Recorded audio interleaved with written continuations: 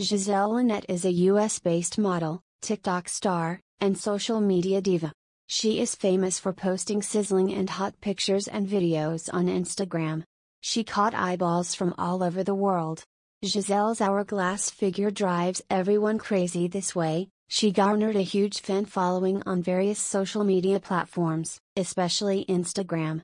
Giselle Lynette was born on February 22, 1996. She started posting her pictures on Instagram in 2012 even though she didn't expect this much love from people.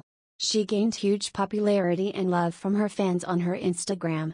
This was all her hard work and dedication that made it possible. She is a gym rat and likes to go to the gym to keep her in shape. She is quite famous for her hourglass figure. Giselle's fans admire her figure.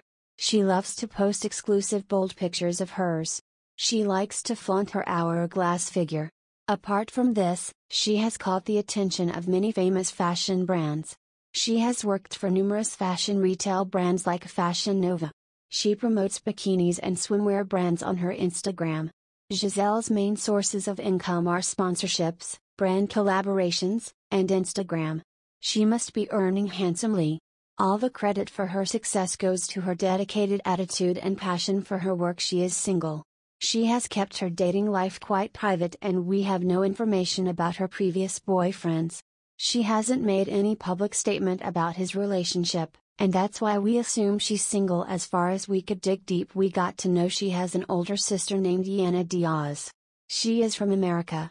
She is of Dominican origin and belongs to a well-settled family.